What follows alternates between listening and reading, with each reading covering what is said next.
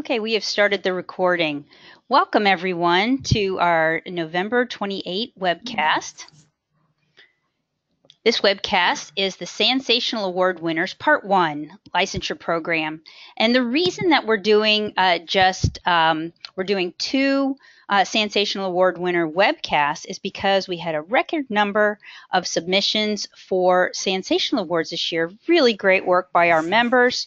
And also, we um, had a record number of winners. We had three categories, and our three categories, as you all may know, uh, one is licensure programs. We're going to cover that today. And we're also going to, in January, invite our award winners from the location um, section and also in our in innovations, which is a broader category um, about different programs that are implemented at the institutions. So we're very excited that we're able to share with you our two winners for licensure programs today.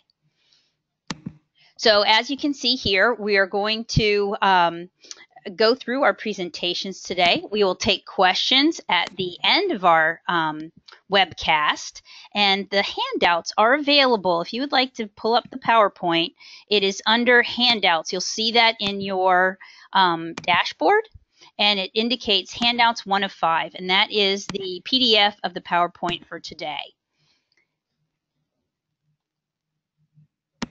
As I mentioned, we'll be taking questions today, but first we're going to go through each of the presentations. We have two different groups of presenters. As I mentioned, two of our award winners are here to our institutions, and uh, they will be sharing their good work, and then we will take questions at the end so that we can make sure and get through both of the presentations.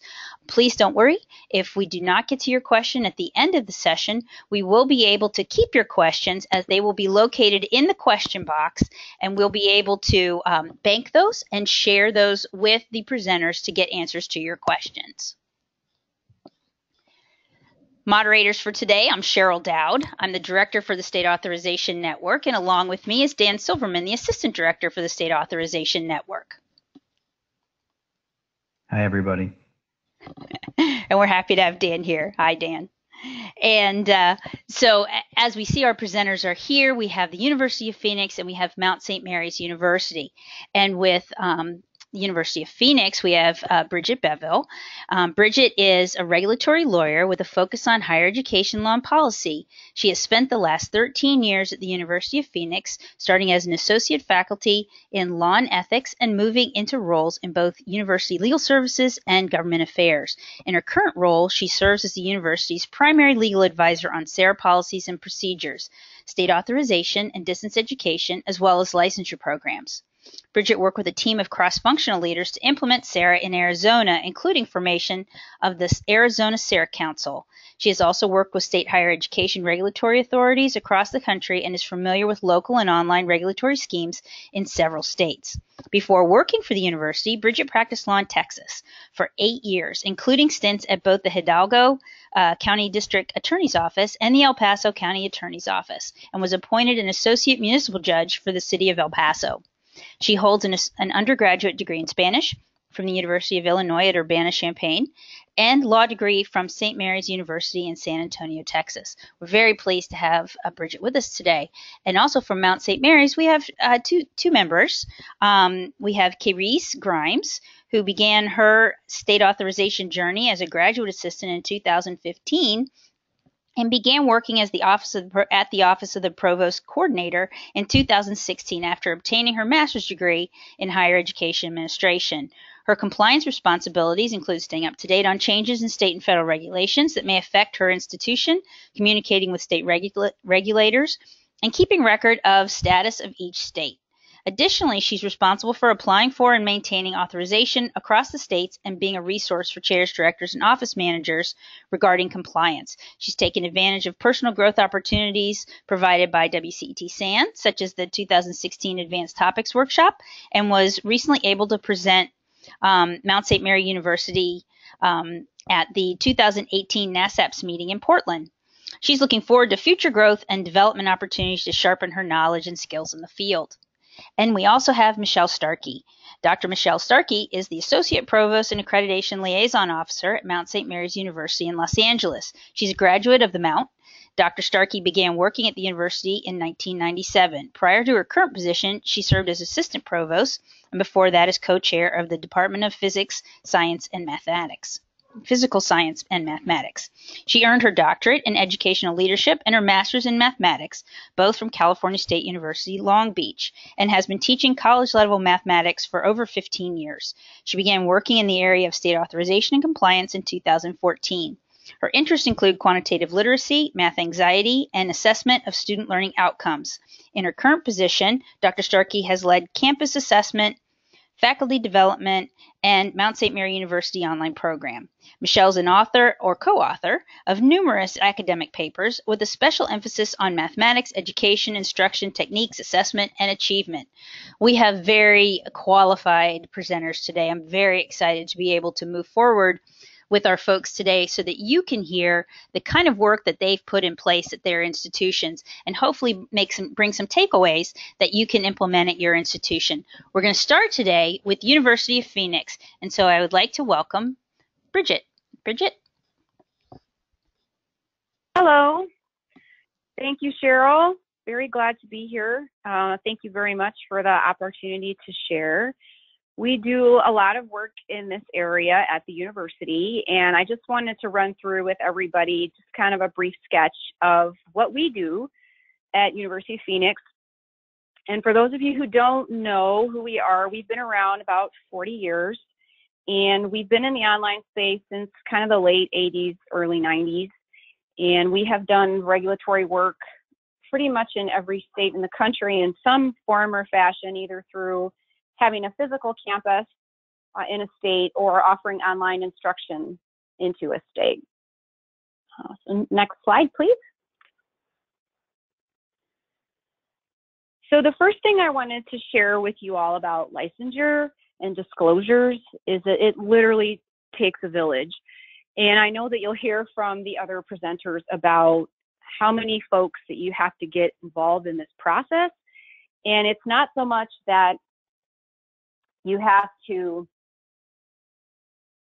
be able to herd cats, as we like to say, but it is about making sure that you have your right go-to people in place.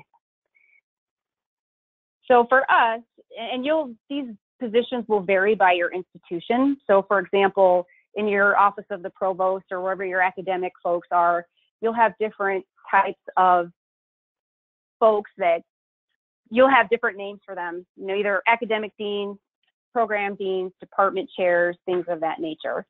Um, so those folks are involved. We have a position called a regulatory dean. You may not have that position, but that's equivalent to if you had a compliance director or somebody who's in charge in that particular respect. Also, your folks in student services, how all these things get communicated to students, you know, who's actually talking to the students, those types of things. And I'll go into these in a little bit more detail as we kind of walk through the different aspects of our comprehensive method for doing licensure disclosure so you can get a better idea of who these folks at your institution might be. And one of the other players that is involved is the legal department, and that's my role, so I can speak to this one all day long. Uh, I won't, of course, but I think this is a really important tie in because I think at a lot of places, folks get assigned to do compliance and they don't have that legal support behind them. And we actually have a group of regulatory attorneys. We have a regulatory practice group that deals specifically with regulatory issues and regulatory compliance. And so we work really closely with the folks on the academic side of the house to make sure that everything is being taken care of and we know exactly what it is that we need to comply with and how we comply with it, and then the implementation of that. The other piece is your marketing folks, and I, I don't know where all these sit at your requisite institutions, but whoever's in charge of making sure this information gets out externally.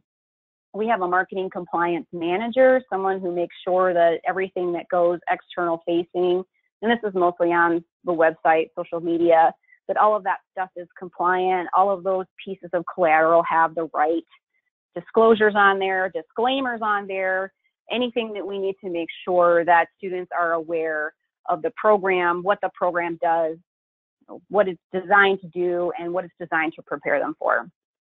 Another important person in this mix is your website administrator.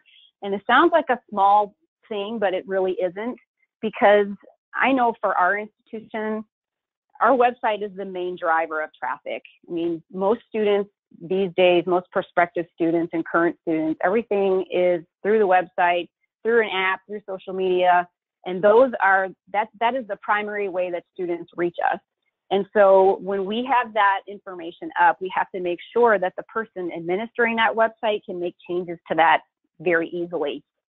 if that doesn't happen, uh, we have issues because that stuff has to be up there. And so we need to make sure that that person is also looped in because all of that is external facing. Okay, next slide. So it takes a lot of people, as I just mentioned, but it, it's a lot of work and it's not impossible to do. So I want to encourage you in that respect. And I know that a lot of folks don't have some of the resources that we do and some of the personnel that we do, but it's it can be done. Um, and, and this is the way that we do it. And I think that these are things that all institutions can implement in some form or fashion. You just kind of have to figure out who it is at your institution that can help you do this. So we have this sort of five pronged philosophy that we that we go by. And the, and I'll talk about each of them a little bit individually. And the first one was we decided to design program purpose statements for all of our licensure programs. And I'll show you an example of one of those and what it's designed to do. But this is something that we thought, well, we need to write from the get-go, let students know what this program's for and why they were going to enroll in it and what will happen if they enroll in this program, you know, what's the projected outcome. Uh, the second thing is that we developed state licensure requirement pages for each licensure program. And this was really mission critical for our licensure program. So we offer education, nursing, and counseling. So these are all programs where state licensure is a key piece. And we have to be able to explain to students what those requirements are, you know, who is going to be, you know, overseeing them, you know, where are they going to get their license from, you know, what's the agency, how do you contact them, what's the process, and our responsibility to make sure that wherever the student is, you know, wherever we're offering that program, that the students know what those requirements are. And this this was a huge project for us. And for those of you who do this work already, you know that this is a lot of work. It's a lot of work to go into every single state and figure out these requirements and then try to be able to explain them to students again without kind of overstepping, right? Because ultimately the licensing agency is the one who decides what they're going to do and they can change and they can do whatever it is that they feel is necessary for the oversight of that profession. But at the same time, we have to be able to explain to students you know, who, what that agency does, why they do it, all of those types of things. And so this was a big project. It's a lot of states, it's a lot of work, it's a lot of research, but ultimately it is the best thing for the student. And so we decided that we're going to do it. We're going to put it up there. We're going to make it available and we're going to train our folks to make sure that they can speak to these requirements.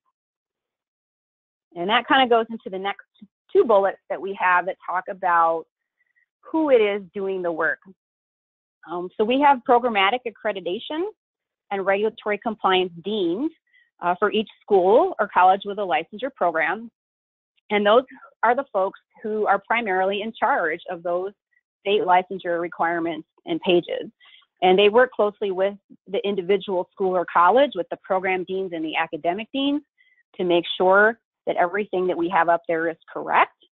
But that regulatory dean is that's their primary function is to make sure that all those requirements are right and they're updated and they're making sure that they're keeping track of changes.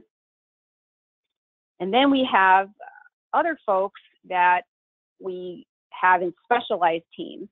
Um, we have certain enrollment teams and academic counseling teams and field placement teams for each program and we make sure that those folks are well aware of their requirements and can speak to their requirements. And again, in a little bit, I will get to kind of how we do that and what we do for those folks to train them. Uh, but it, we found that it works very, very well to have a smaller number of folks who know the programs very, very well so they can answer whatever questions uh, students have. And then again, the final bullet is making sure that you have collaboration with your legal services. Um, we do this very well. Um, we didn't have a regulatory dean position up until I would want to say three or four years ago. And the university made the decision to go ahead and create that position to kind of be the liaison between the legal department and the academics. And it's and it's worked out very well. So I'll I'll talk a little bit about how that works in real life because all these things look really great right on paper and it's a great plan, but to actually implement them and get them to work correctly uh, is, is a whole nother game. Next slide, please. Okay, so first thing we did was we asked the colleges to develop these program purpose statements. And these statements are designed to inform students of several things. And I have the four things listed there. And so you can see there's an example of one below. This is the one that we use for our BSED program. And all four of those elements are somewhere in this paragraph. So the first thing we want to tell folks is enrollment eligibility. You know, what credential, if any, do you need to enroll? Um, because sometimes a student can enroll in a program unless they have a specific credential.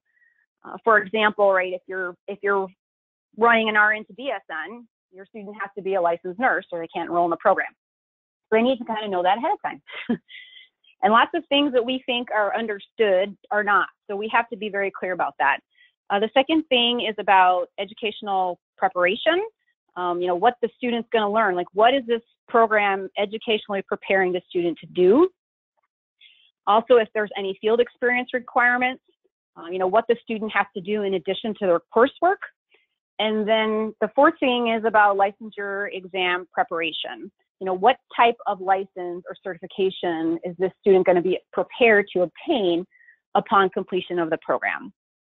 So I gave you the little example there, and I have links in our uh, PowerPoint that you all can go to and, and, check out. But you can, at any time, you can go onto our website to any of the licensure programs, and you can see these statements there.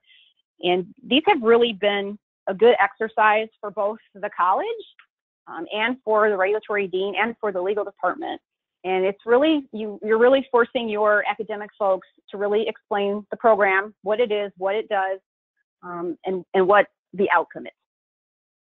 Next slide. Okay, so our state licensure pages, this is a screenshot of what the actual page looks like.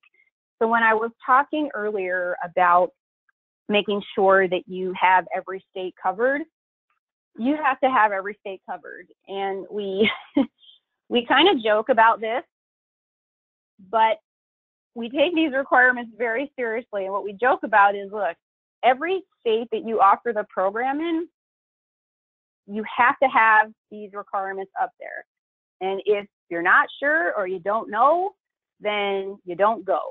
Uh, you don't go into a state or offer anything in a state where you are not aware of the requirements or understand the requirements.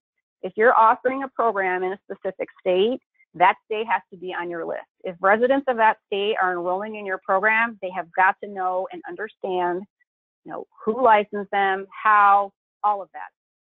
So what we've done on our state licensure pages is we've made sure that we have all the states listed. And then it's a little bit hard to see on the slide, but you can see to the right of each state, there's a little plus button. And when you click that button, what will happen is, is everything that you need for Alabama is going to show up under Alabama. And this is again for our uh, education programs. So you'll see, you know, the teacher licensing agency will be listed, their contact information, what the student needs to do, all of those things that are necessary to obtain teacher licensure. And, you know, way back in the day, you used to be able to say, you know, hey, student, you know, you can just go to your licensing agency and and check it out and they'll let you know what the requirements are. And those days are long gone. And so what we do here is we list all of the licensure requirements because even though we only have one piece of that. We have the educational preparation piece. There's a there's several other things, you know, background checks and fingerprinting and content exams, and there's all kinds of other requirements. And although we're involved primarily in the educational components of that, there are other things that the students need to be aware of. And if a background check or a fingerprint check, if, if those are going to bounce somebody from licensure, you know, they need to know all those things ahead of time um, before they enroll in a program. So we've made this very comprehensive and it's very text heavy. So we're working on having it look a little bit nicer. But for now, we are very pleased with how it came out in the sense of it has all the information that needs to be there. We think it's relatively easy for the students to understand. And then this is the information also that our staff can speak to when they're talking to students about the program. The other little link I gave you here is our little video about teacher licensure. And we found that these short visual aids are very helpful to students as well. And this video, it's a couple minutes long and it really is a very concise summary of what you know, what you need to know about becoming a licensed teacher. And these are great little resources. I don't know, I'm sure, you know, institutions vary by the types of resources they have to produce these types of things. Um, but you can get creative in how you do it. And we found these to be really helpful. I mean, these get a lot of views because um, it's just short and concise and it kind of gives the big picture where the state licensure requirement page really kind of gets into the weeds. Okay, next slide, please. Okay, so back to the staff. So to make all of this happen, we have lots of folks that are involved, and those are mostly the ones that I mentioned on, in the first slide. But I wanted to get into a little bit more detail about what each of these folks do. So I mentioned the regulatory dean, which is a relatively new position for us that we created. And I think one of the one of the best things about this position is that this one of this person's primary job functions is to make sure that they are monitoring all of these requirements.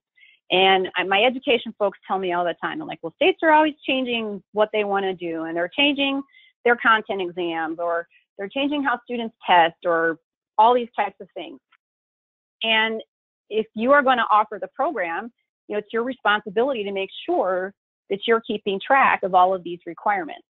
So the regulatory dean is the point person for those types of changes. And then they work with the legal department when there are legislative or regulatory changes proposed. And we talk about how those changes will impact the programs and what we need to do if those changes go through and how we would update all of these things.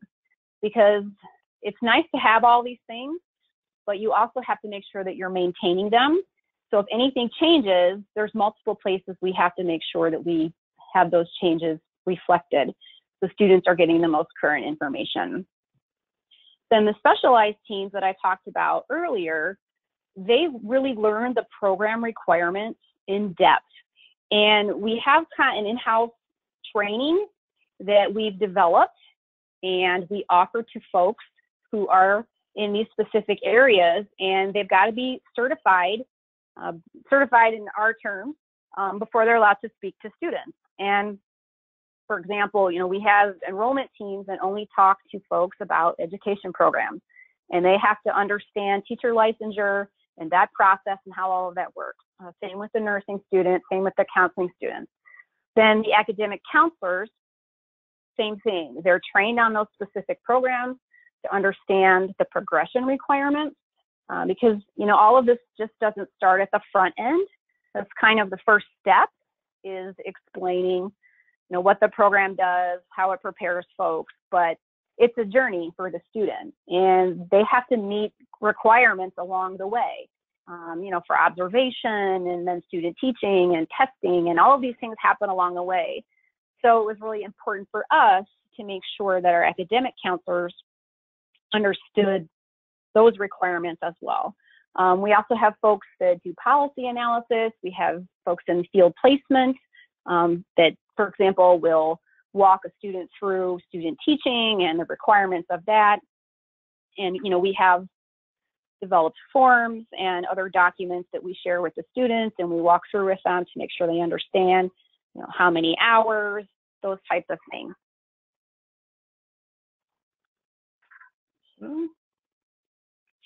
Next slide, please.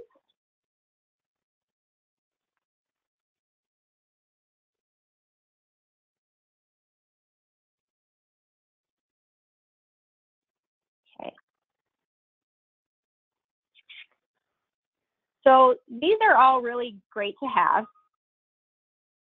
but the key is making sure that they're communicated to the student. And sorry for the pause there. I lost my uh, connection to my laptop here for a second, so hopefully I'll get it back. So on commu about communicating to students, all of these things are great to have, um, but the important thing is, is to make sure that the students are getting them. So as I said earlier, you know, the primary driver is the website. So we make sure that the website has links in multiple places. Each college has a homepage. Each program has a homepage. The links are there. Um, on the state licensure page, as I showed you, the links to earlier, they're all there. Um, they're in the academic catalog, and the academic catalog includes those program purpose statements and links to the state licensure pages. Um, same with the marketing collateral. All student-facing materials need to, uh, you know, have all of those types of things on there, all, all the disclosures. Um, and then internally, how we communicate to students, because as I said, the licensure process is a journey. So we're communicating with them throughout the entire program. So all those uh, information is in the student handbook. Um, it's on their eCampus site. They have access to, that's where they have access to the catalog and the handbooks and those other types of things. Uh, through the academic counselors, the field placement teams, these internal folks are, are always, you know, providing reminders and updates and all these things to students along the way. So I'm, I'm, I hope I'm not over time. I know we're getting close and I don't want to cut into anybody else's time. So that's a brief overview. Um, my contact information is in the slides as well. You can contact me with questions, uh, comments anytime. Um, the best way to reach me is either email or text. Uh, so Cheryl, thank you very much for letting us share a little bit about what we do. And I will look forward to taking some questions uh, after Mount St. Thank you very much, Bridget. This was great. I appreciate you being very detailed, and I think it gave a lot of information for folks to take back and, and see what they can do within the processes that they're creating at their own institution. So thank you for breaking it down the way you did. That was that was excellent. Um, we will be able to ask Bridget questions at the end, but we're going to go ahead and move on to our next presenters that are from Mount St. Mary's University. And so we have uh, move the slides first. Uh, we're going to start with Kayreese. Uh, so Kayreese, welcome, and uh, we'll let you take it away. Thanks a lot, Cheryl. Um, we're happy to be here and, and able to present this information to everyone. Um, so we are Mount St. Mary's University. We're a Catholic university. Um, we're a liberal. We're also a liberal arts institution, primarily for women, and we're based in um, Los Angeles, California. Currently, we have um, nine professional licensure track programs, one of which is fully online. You can go ahead and move the slide, Cheryl.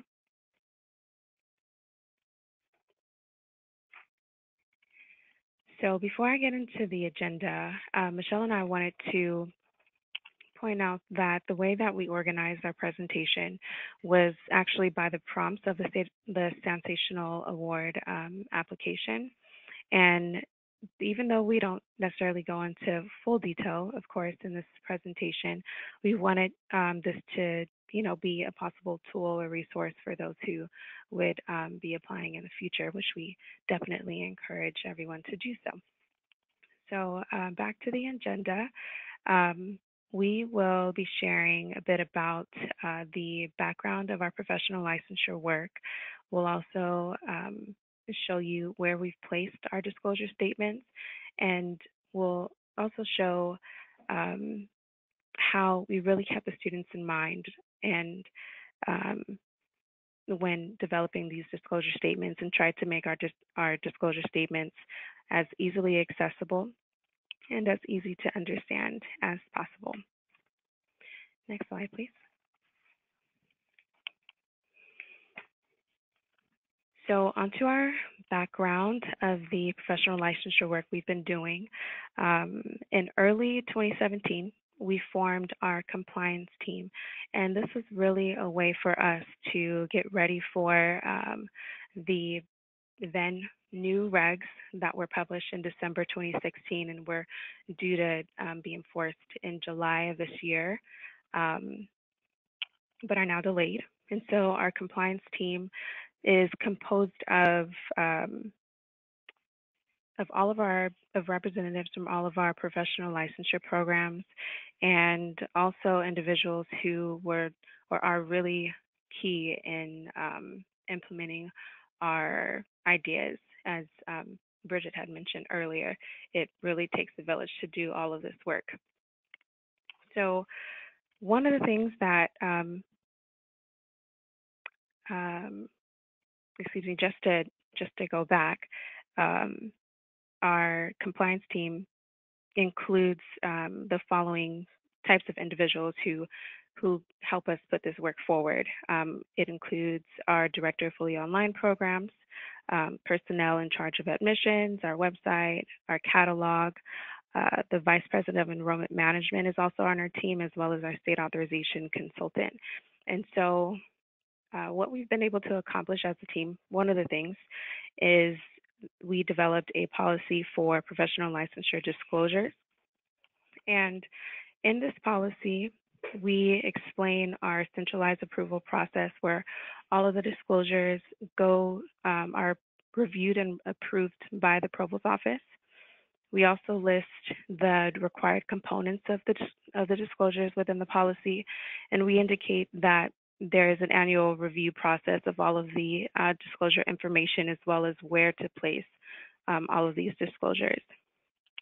And so, as you may know, um, though the professional licensure component of the delayed federal, regulations apply to online professional licensure programs, um, all of the uh, programs are all programs are actually subject to misrepresentation rules. So even though we have only one fully online professional licensure program, um, which actually would have made our lives a lot easier, um, we, however, uh, still decided to apply the our policy, which is pretty much based um, based on the the regulations, to both online and on ground professional licensure programs we have. Um, and we really did this because uh, we were able to put the students um, kind of look through the lens of our of our students and realize that you know the majority of our students in particular um, are first generation students. So if it is difficult for us and we've had um, you know, this has been brought up before, if it's difficult for us as professionals to really dive into um, all of these resources and um, decipher them and interpret them, then how much more difficult would it be for the student to actually um, find these resources and interpret them imp- appropriately? So, um, with that understanding, we eventually just collectively excuse me, collectively um, realized that this was just the right thing to do and this is what we wanted to move forward with. And so currently we're still in the process of conducting um, state specific research for our, our on ground uh, professional licensure programs. Next slide, please. So visibility, um, when we initially when we started um, this process, we realized that there were three populations of students that we had to disclose this information to.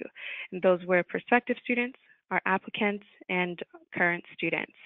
Um, and so in trying to figure out where to actually place these disclosures, we always kept the students in each of these populations in mind. And we asked, you know, what do we, what do they look at?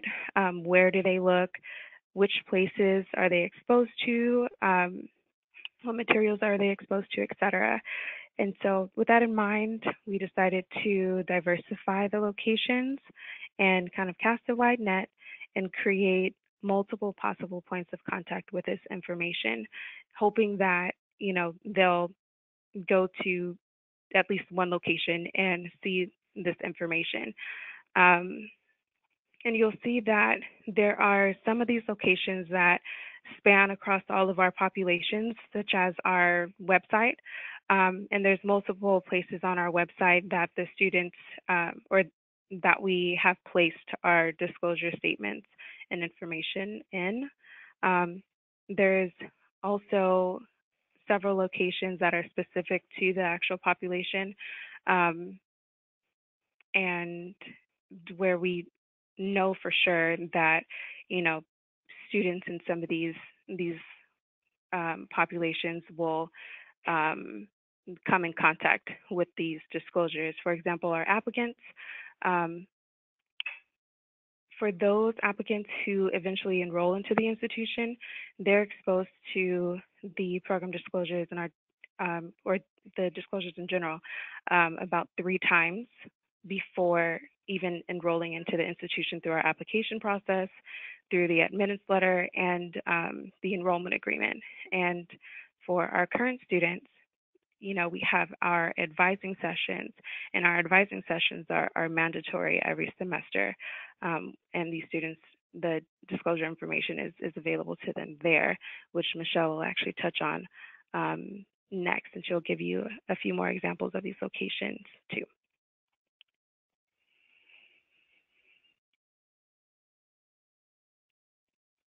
Okay. Um, hi, everyone. This is Michelle now speaking. Can you go to the next slide, please, Cheryl? All right. So um, I'm going to be highlighting some of the instances that Clarice mentioned on the previous slide. And first of all, our website. This, of course, is where the general public, prospective students, even current students may go. And so we want to make sure the disclosure statements are located on our website. Um, here we're highlighting our state authorization and professional licensure page in particular where the disclosure statements are, but they also appear on program specific pages as well. Um, and so we do have this um, in less than three clicks, they can get to this page here that we have a snippet of. They, um, there you can see there's a paragraph about professional licensure. And then if the student scrolls down farther, or there's also a hyperlink there in that paragraph, they can see the specific um, section. There's a section on disclosures and a button that will um, give them all of the professional licensure program disclosures. All of the program specific ones will come up when they get on that button there. Um, they can also access this page directly if you know or any of you want to go look at it. It is just msmu.edu slash state authorization and it will take you directly to this page. Next slide, please.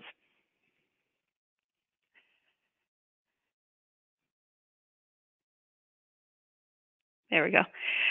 All right, so this next example shows how the applicants come in contact with disclosure statements during their application process. So we do have an online application, and we were able to um, give our coders like a flow chart, you know, when a student clicks on this program, then make sure this disclosure comes up. Um, and so here is a case, an example of someone who said they were interested in the counseling psychology program.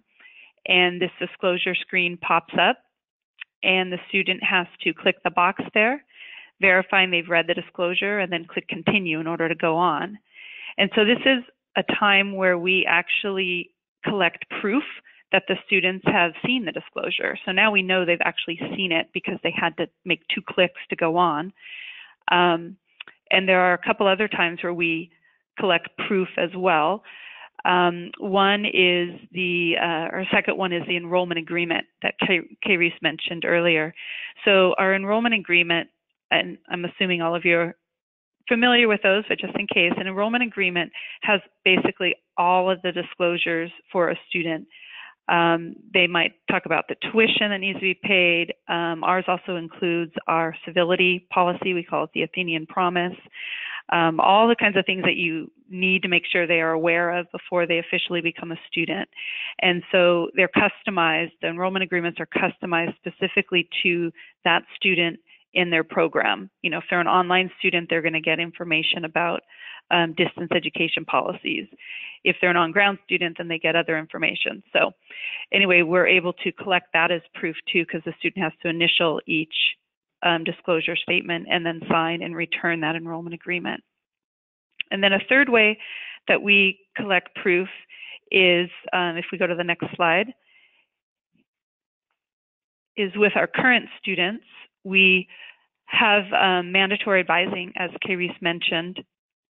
And so before they're allowed to register for their courses each term, they must meet with their advisor. There's a hold on their account, and only their advisor can lift that hold. And so we have trained all of the advisors that work in our professional licensure programs. There are faculty advisors. Some programs do have uh, other staff advisors too, but they're all trained to talk with the students and ask them specifically where they plan to practice. Do they plan to practice in California or in another state? And if they say that they're interested in possibly another state or two, then we they do talk with them and give them information about any possible additional requirements that may be needed by those states.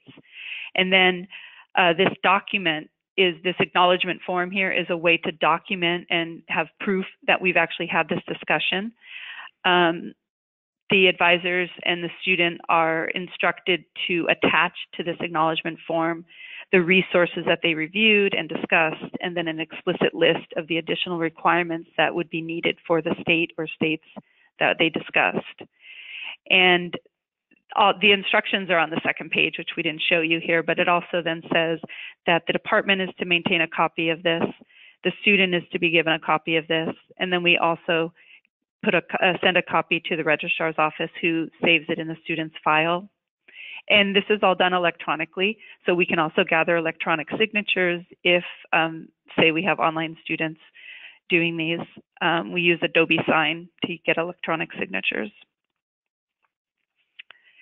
And then the next slide, please.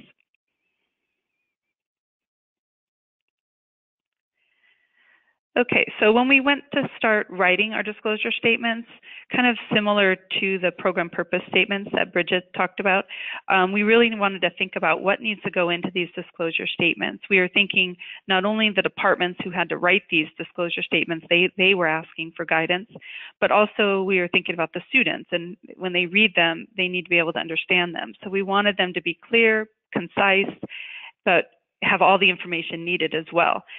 So we um, came up with a list of components, like what needs to go in a disclosure statement, and we put that into our policy there. And we also require them, as Carice mentioned, to be approved through the provost office. So we have the centralized approval. The web manager knows this. He's on our compliance team. So he knows that if a department asks for one of the disclosure statements to be changed, he knows to make sure they have approval of the provost office first. And then, of course, we require them to um, review these annually. You can see this is a general disclosure statement that we have on our webpage, just saying that our professional licensure programs prepare students for license in the state of California. If they wish to practice in another state, they may or may not have additional requirements to complete. And then they can go to program specific ones too. Um, this particular screen is just a screenshot, so those links don't work.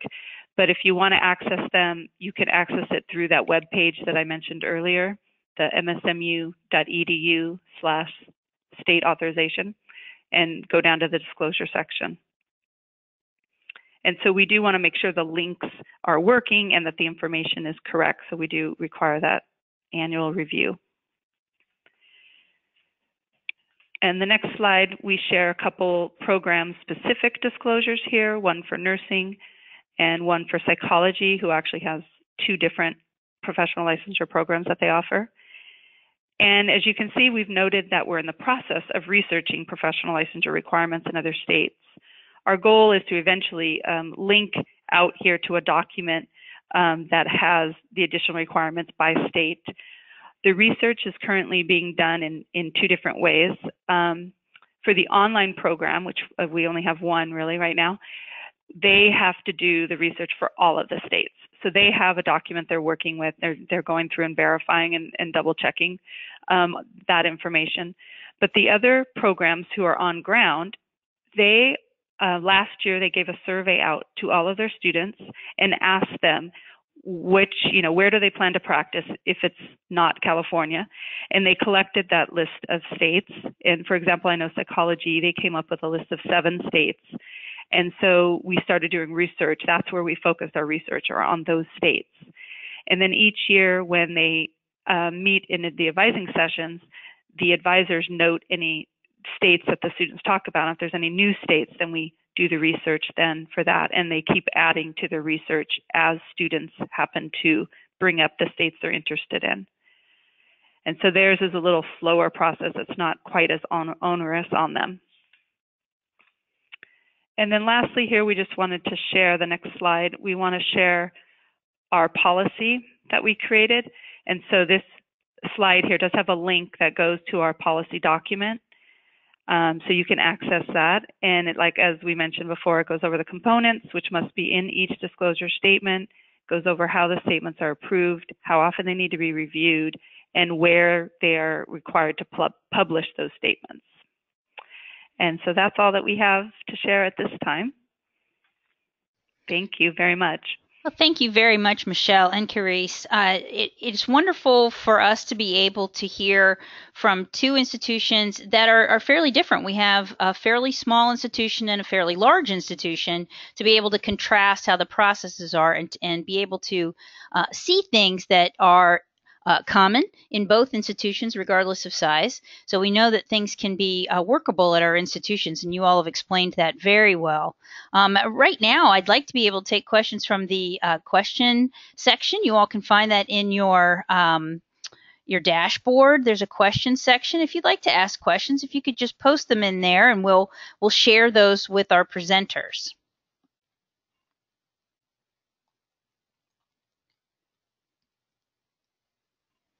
Well, while we're waiting, uh, I'm not seeing questions yet, um, but what I, would like to share with you all is that um, these SANsational awards, you know, they, for those that aren't aware, uh, these were nominations. They were submitted last, late last spring, early summer, and they were reviewed by um, a, a, committee who um, who reviewed their members from institutions and um, some other consultants who reviewed the nominations and determined who um, would be our winners for this year. So we're really pleased that you know they were very de- the um, nominations were reviewed very thoroughly and um, a lot of good thought was brought into uh, making determinations of award winners.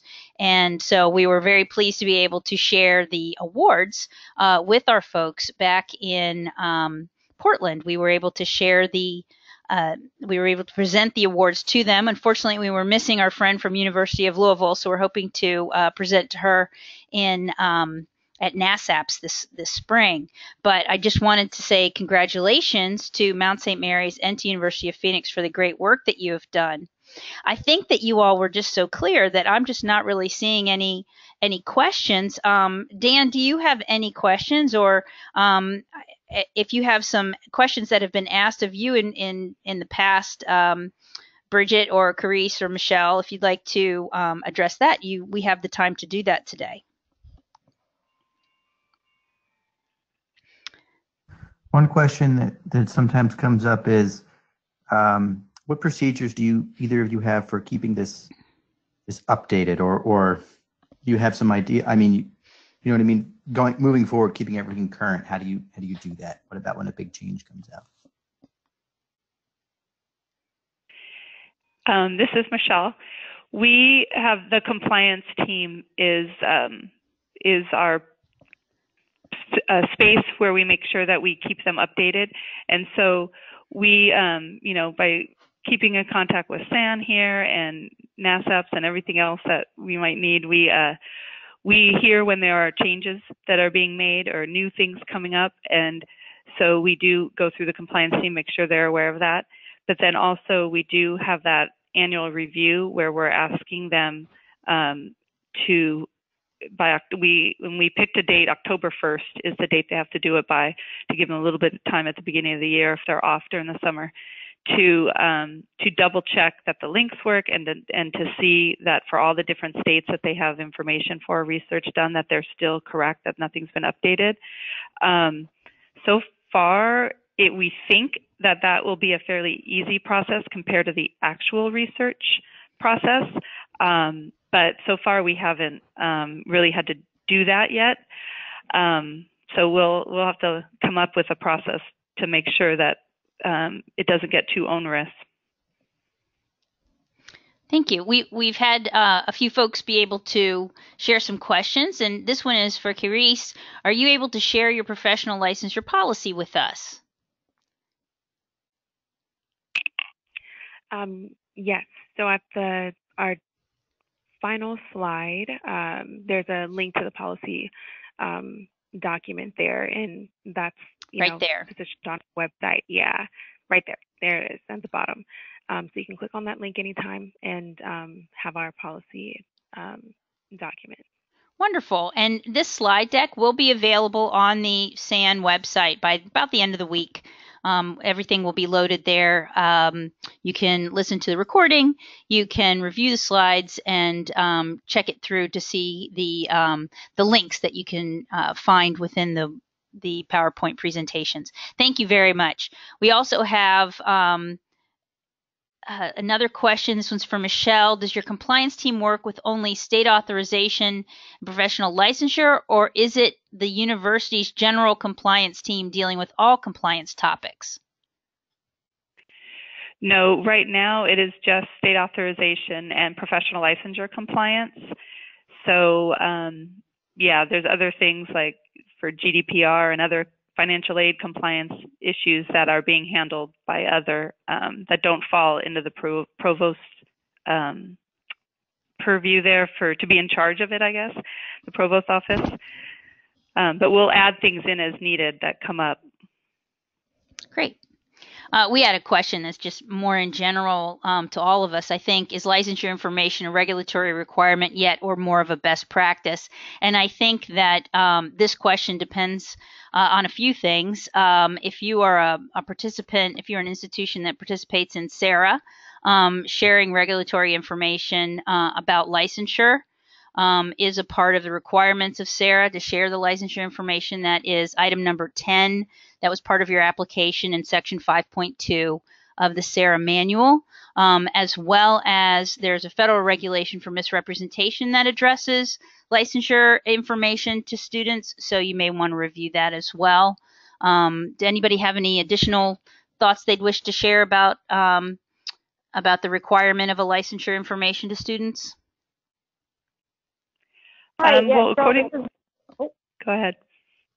I was saying, this is Bridget again, and for us, there's multiple requirements right at multiple levels, and I think that's why it's helpful too to have a legal person if they're available to you to help you through that because as Cheryl said, right, there's the federal requirement, there's there's a SARA requirement, but then if you're operating in a state, you may have additional state requirements.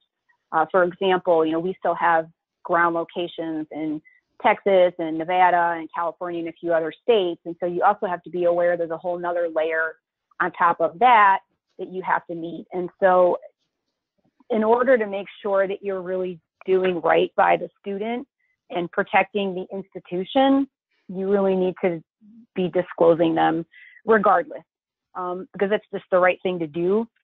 Um, but to help somebody help, you know, get you to navigate through all those different requirements, because there may be something out there that you're not aware of if you haven't done it before, just to make sure that you that you can check in with someone and make sure, okay, yes, we're meeting federal, uh, we're meeting SARA if we're participating, and if we're not participating in SARA, you know, what are the other requirements that we may have to meet state by state?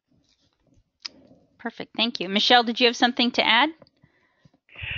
No, I was going to talk about the misrepresentation rule, which applies to every program, which is similar to what Bridget was saying, though, that yep. you really do, it's just to be right, do right by the student and protect your university. Great, thank you. Uh, I, I, appreciate that you all reinforce that.